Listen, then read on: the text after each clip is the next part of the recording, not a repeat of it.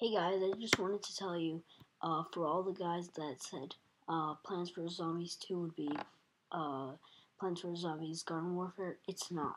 They're releasing three games, um, one for Facebook, uh, one for the Xbox, followed by PC, and then one I I heard exclusively only for iOS, which is Plants vs. Zombies 2, and it's supposed to be free free to play, which sucks.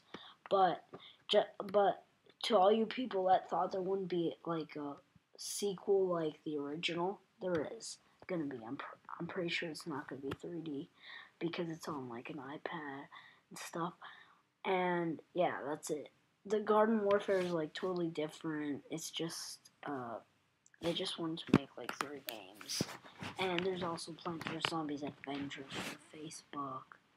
Uh, that one like it's an adventure. It's like we it's but it's like more cartoonish. It's free of.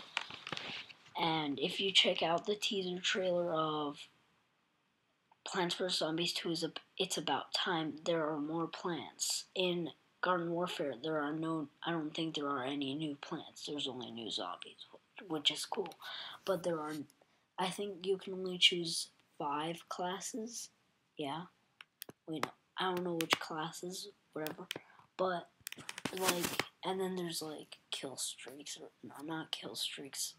But if you saw the thing, like it's like co- kettle corn ready, and then it blows up.